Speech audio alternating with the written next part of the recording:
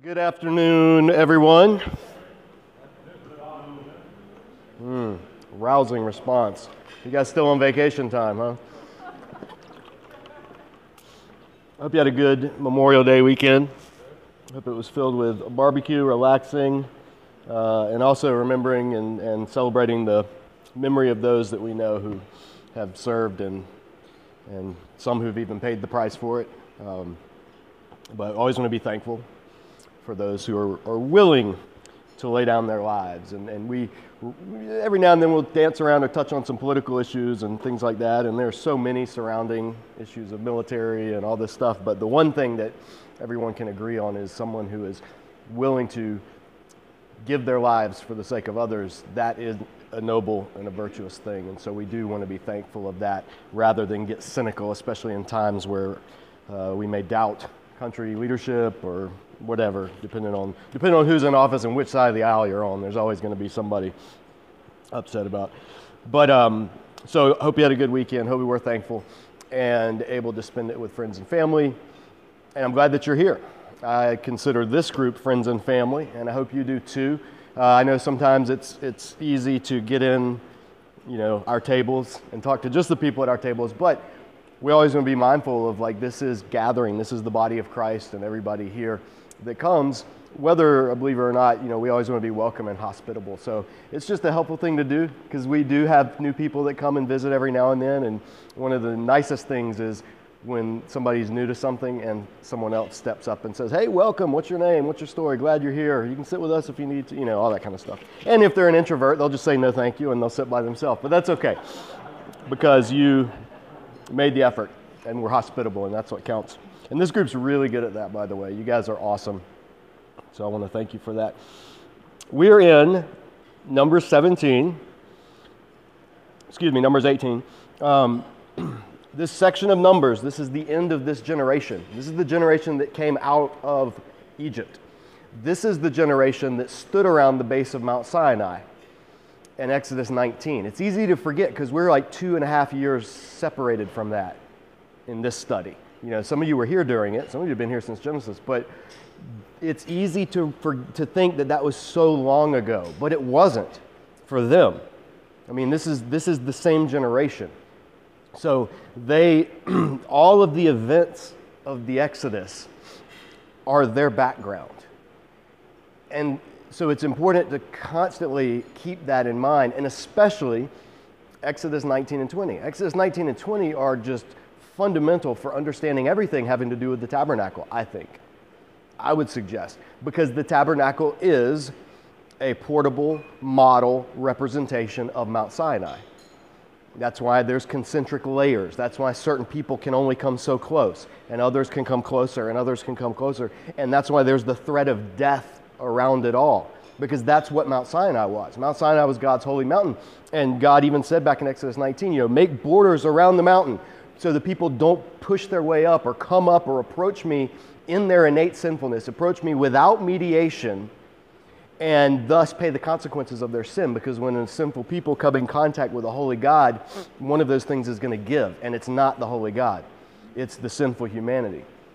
And as we saw in Exodus, God's holiness is not you know, fluffy bunnies and fields and sunsets and meadows. God's holiness is a blast furnace. God's holiness is a fire that consumes and purifies.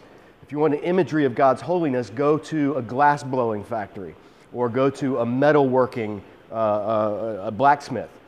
Watch how they purify things like metal and glass. Watch how they separate the, the dross from the pure, good, valuable material. They do it by putting it in a blast furnace by literally burning away the impurities so that what remains is what can survive. And that's the image Paul uses in the New Testament. First Corinthians, he uses that image to describe Christian work and church work in particular in ministry. And he says that's what everybody's going to face. We're all, all our work's going to be tested by fire. And only what's built with, with the precious building materials is what's going to survive. All the straw, all the stubble, all the stuff made of just human efforts, it's all going to be burned away. And so that image, it's a, it's, a, it's a both testament image. God's purity and holiness is the holiness of a blast furnace, it's the holiness of fire. And it's something that we largely in evangelical North American Christianity tend to lose because the revolution that came about going back to the middle of last century in particular with the rise of uh, neo evangelicalism and crusades, Billy Graham, John Ockenga, Carl Henry, all these awesome, amazing works that God did in this country through those things, bringing people to faith and Campus Crusade and you know Bill Bright and uh, all this they were, it was good. It was good. But in every good thing, there can be excess. In every good thing, there can be a twisting. In fact, that's what Satan does. He can't create anything on his own, he can only twist and distort what God already created. And so, in that, in our culture, what's been kind of twisted and distorted is the communal aspect of the body of Christ. We've focused on things like steps to peace with God, the four spiritual laws, the Romans road, saying the sinner's prayer, all of those things to get individual people to make their pledge, to, to, to get saved, as we call it, and then that's it. You made it. You got your ticket to heaven. And that is not that that's wrong, but it is woefully incomplete. It's, it's, it's, it's just not even scratching the surface of what it means to be a follower of the Lord, a covenant member of God's people because God's people were inherently communal. And so there was an aspect of, yes, God does differentiate guilt. He does not punish the innocent for the sins of the guilty, but at the same time, He does allow the communities to experience the results of the sins of members of that community. And that's a tricky thing to hold in balance.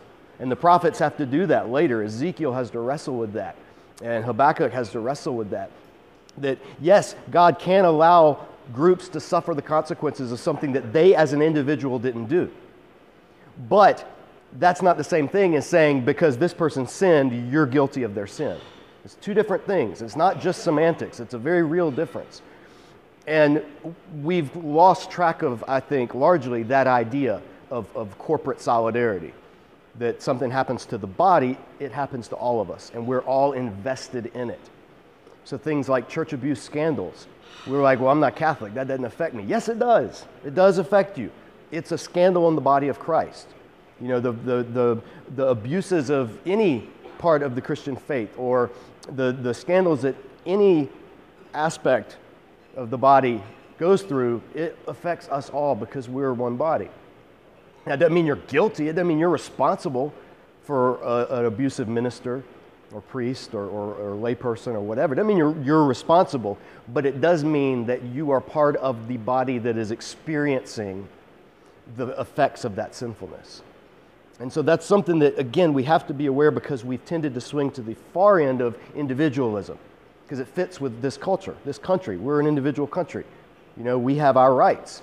And, and it's not that those are wrong, those are good. Rights are good. Individual rights are a good thing. Uh, liberty, good thing. But anything taken to its extreme can be dangerous and that's one of the aspects is we lose that communal sense and so numbers this section that we're in in numbers is all about that when, when a part of the community rebels that, that rebellion infects and works its way throughout like yeast through dough and, and pretty soon the entire community bears the brunt of that and we've seen that in the previous chapters with the rebellion and then in the last chapter god established look there was a vying for power and there was one group that was saying, We want the prerogatives of the priest because the priests control the people. I mean, that goes in every culture and every religion. That's why skeptics say, ah, oh, religion was just invented to keep people in line. No, that's a dumb argument, but there's a kernel of truth in it that, yes, true religious people, true religious order does control the behavior of the people who follow it. That is the true part. Now, that can be abused, and in various cultures and religions, it has been abused but it doesn't mean that that's, there's not a true aspect to that. And so the people, in this case, uh, Korah and his folks, they were seeking to rebel, to claim that, to grasp that power of religious authority, of the priesthood, and thus the leadership of the people. That's what they were trying to grasp. In, in, in, contrast to that, think about the Christ hymn in Philippians chapter 2, where it says Jesus didn't see his divinity as something to be grasped or to be grabbed or to be used for his own purpose, but rather he emptied himself, becoming nothing and suffering death on a cross. That Philippians 2, I know it's an Old Testament study, but there's a thing called the New Testament. and it has some letters that Paul wrote, and that's one of them. Anyway, back to what the real Bible. Um, no, I'm only kidding. That's all the Bible. But um, in, in this section, in 18, uh, or in 17 rather, there was that act of rebellion, trying to seize political power, which was also religious power, and the two were intertwined, and there were two factions of rebels that came together, one for political reasons, one for uh, religious reasons, but they were both united in their rebellion. God vindicated dramatically the authority of Moses and the authority of Aaron in the chapter right before this, saying that no, it is through Aaron's line that the priests will come. You Levites, I've given you your job and your roles, but Aaron's line are going to be the priests.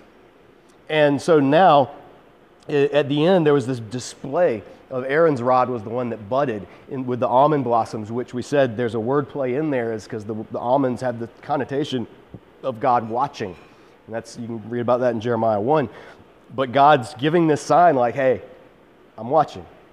I see what's going on, and I know who my chosen, anointed priesthood family is.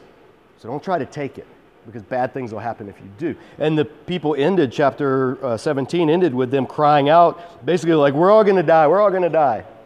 And it was just this cry of despair from this generation that had rebelled, that had suffered the consequences, and that had no hope for a future because they had forfeited the, the, the salvation that God wanted to bring them into.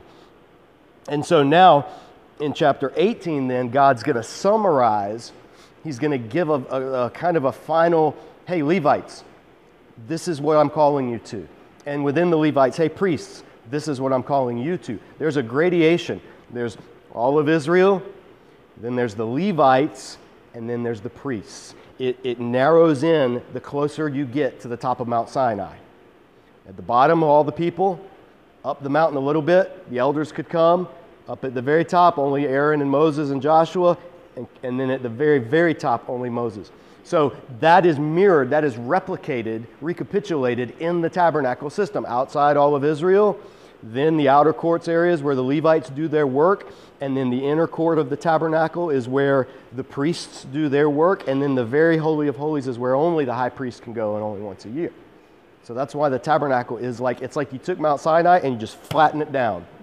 And that's, you know, you ever seen those, uh, what are those bowls that you can like flat, you, you know, you, they're like portable camping, camping bowls, right? You pop them up and they're like layered cakes. And then when you're ready to, you turn it over and you use it. And then when you're ready to collapse it, you turn it over, you collapse it back down. Think of the tabernacle that way. The Mount Sinai being collapsed down, and you have these concentric rings of holiness that correspond to the levels of the mountain. Does that help? I just came up with that on the spot, but I might use that in the future. So just think of it that way. Copyright 2017 Disciple Dojo, those of you watching on camera. Um, so here's what he says then to the Levites and to the priests, because they have a big job. Their job, literally, is to guard. When God tells them this is the work you're going to do, guard and keep the tabernacle, the, the tent of meeting. Guard and keep.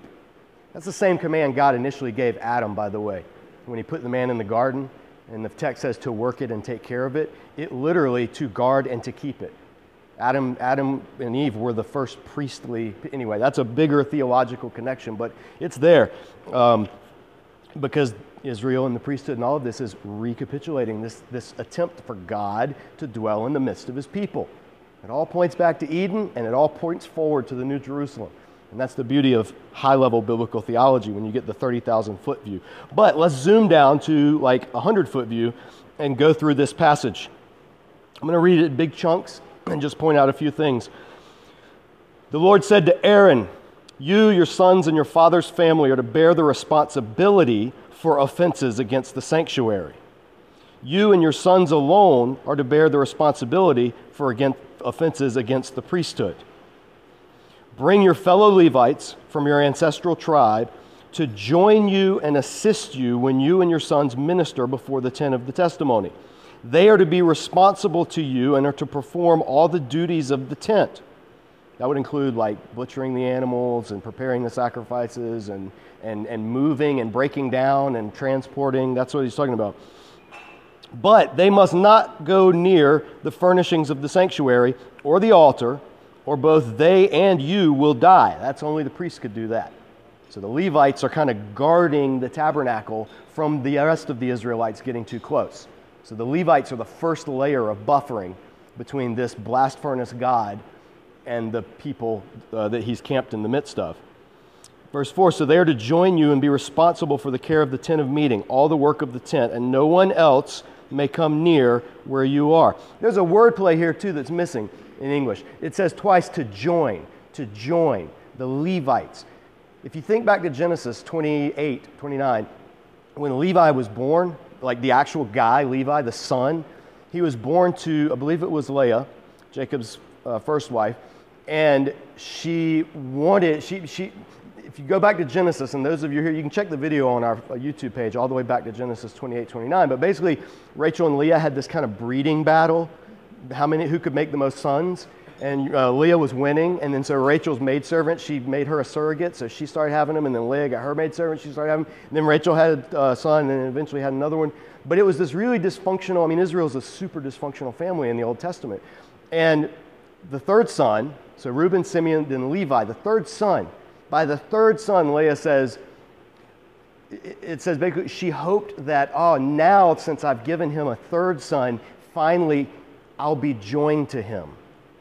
And so she names the third son Levi from the verb to join to or to be attached, to become attached to. It's really sad.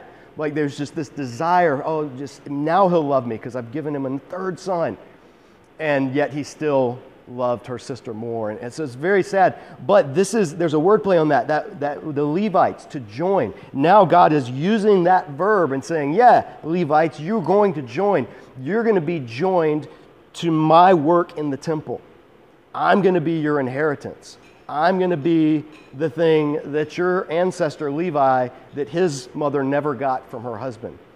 You know, I, am you're going to join. It's a really neat use of that word that gets glossed over in, in English because it join and Levi don't sound anything alike. But then he goes on to say, verse 5 You are to be responsible for the care of the sanctuary and the altar, so that wrath will not fall on the Israelites again, as it just did in the previous two sections that we've read. So check last week and the week before for what that means. I myself have selected your fellow Levites from among the Israelites as a gift to you dedicated to the Lord to do the work at the tent of meeting. But only you and your sons, that's Aaron's line, may serve as priests in connection with everything at the altar and inside the curtain. I am giving you the service of the priesthood as a gift. Anyone else who comes near the sanctuary must be put to death. Mount Sinai, you don't just barge up Mount Sinai. There's a gradation of, of, of access. This is the paradox of the Old Testament. God wants to dwell among his people, but God's people's sinfulness makes that not a reality. So, what does He do?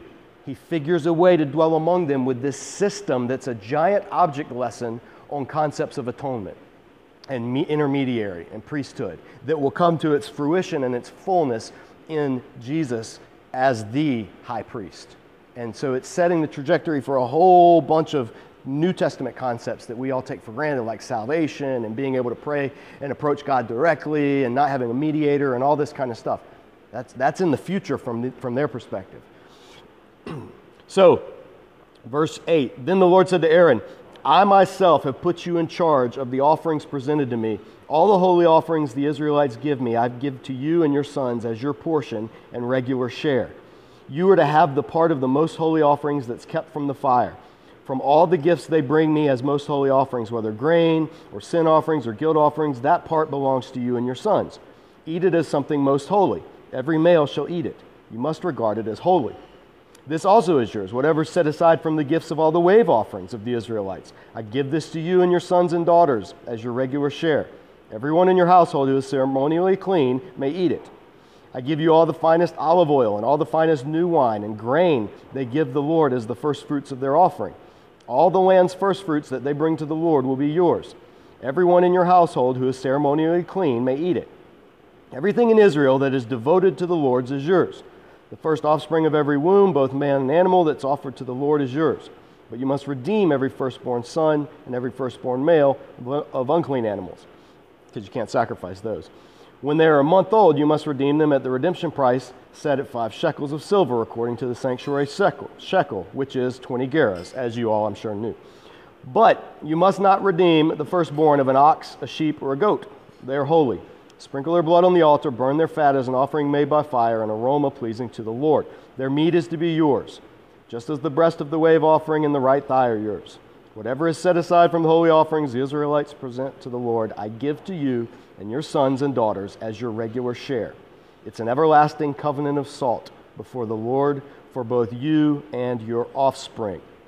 Covenant of salt is a phrase. That's a, that's a phrase that was used in the ancient world and in ancient Israel, and it, to, to mean a binding covenant, an imperishable covenant, a covenant that won't decay or wear away, because that's what salt was a preservative, and it was a seasoning and a flavoring, and it's how you kept meat from rotting and all this kind of stuff. So, that phrase, covenant of salt, that's what that means. It's a word play. In this, what God is saying is pretty profound for understanding ministry in ancient Israel. The Levites, okay, you got 12 tribes. Out of those tribes, God said, I'm going to take you into this promised land, and you're all going to get this land flowing with milk and honey. That was their inheritance. That's what they would look forward to. But one of the tribes, the Levites, God has said all along, from all the way back in Exodus, except you. You guys don't get inheritance in the land. You don't get land to dwell, to, to raise crops and flocks and herds and all that. Why? Because you got something else to do. You're going to be, among all the Israelites in the towns, you're going to be the ones who mediate between me and between them. You're going to be that buffer. You're going to be, that's your role. So that could seem pretty dismal in an agrarian society. You know, like that's how you get rich by breeding animals or raising crops. I mean, that's your way of living. So this is like God saying basically, you're not going to have access to, to wealth. You're not going to be able to make your wealth. That's pretty harsh consequences in this world. So to keep everything working, he tells the rest of the tribes, all you tribes, everything you bring in, take the first 10% of it, the first tenth. You bring that to the temple, you bring that to the Levites, and it's theirs. See how it works? The people bring their tenth and they give it to God. It's called God's, it's the tithe.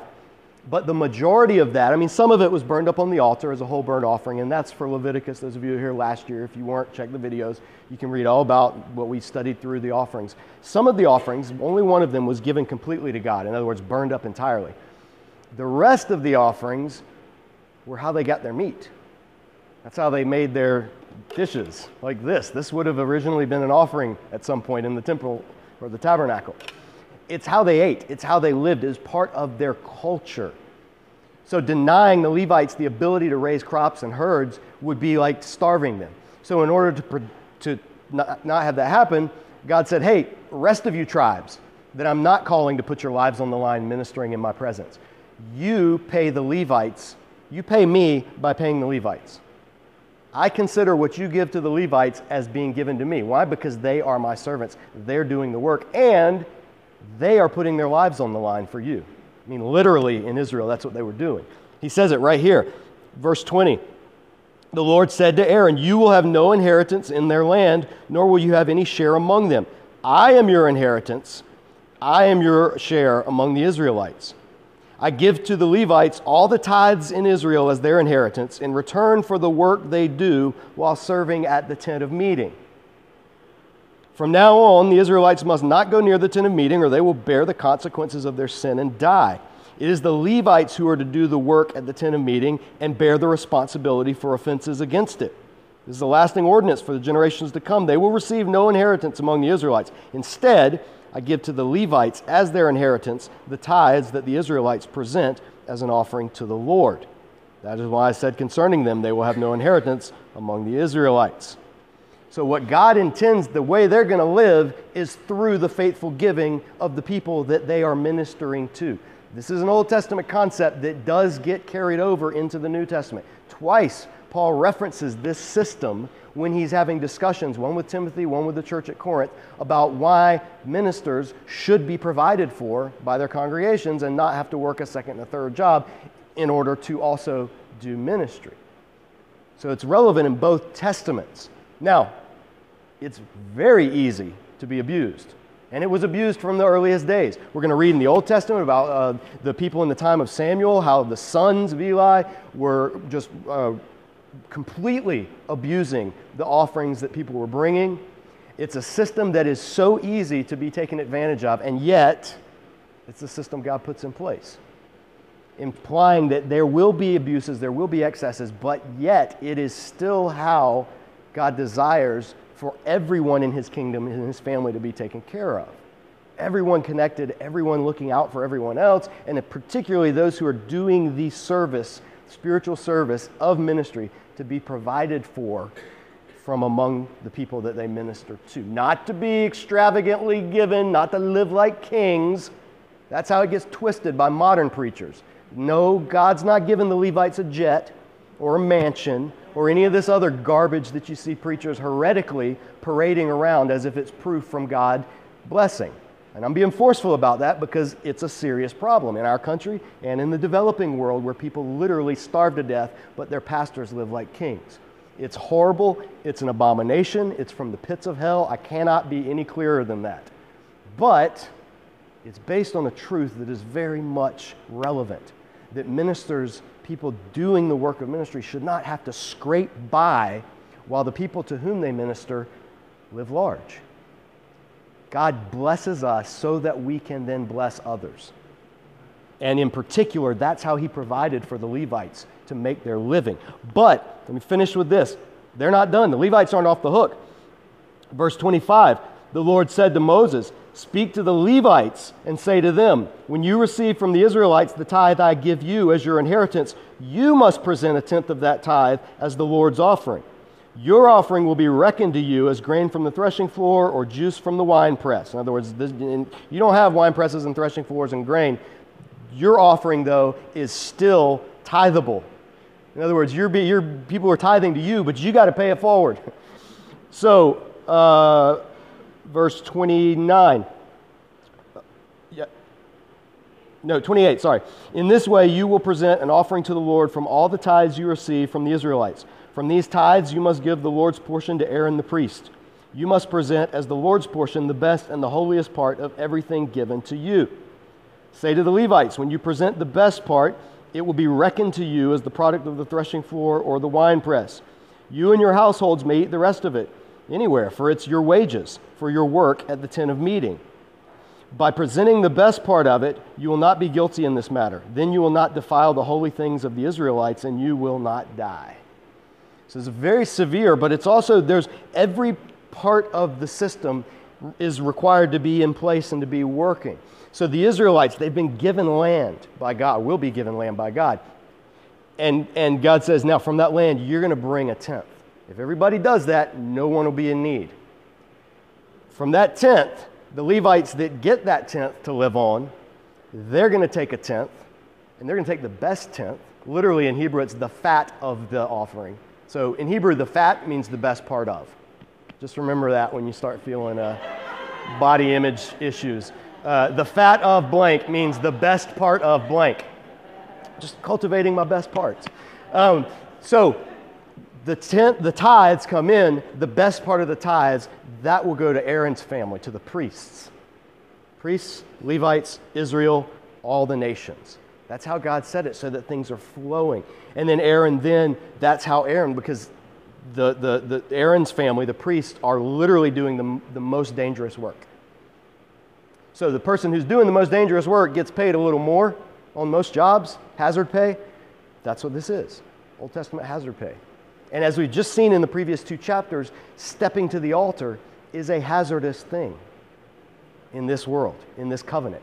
That's why in the new covenant, when the curtain is torn from top to bottom, and the author of Hebrews says, Now we can approach the throne of God with boldness, that's mind blowing. That's a new thing, but it's something we've grown up with, so it just becomes old hat. But that's why studying it back then helps us see what it is that we're experiencing today. We're out of time. Next week, final chapter from this generation.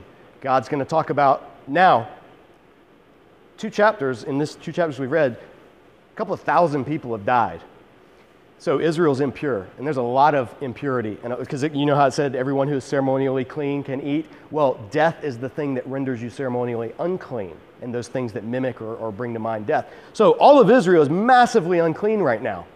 We're still all in one event going on, even though it's stretched out over weeks because of how we meet. So next week, God's going to do the final thing, which is okay, purification for this death stuff. Then the whole generation dies. And then we start Numbers round two, the new generation. Numbers 2.0, Israel 2.0, uh, the version of New Coke, if you remember that, whatever you want to call it. That's what we're going to see. So come back for that. There's still plenty of food here. Grab seconds if you want. Otherwise, have a great week.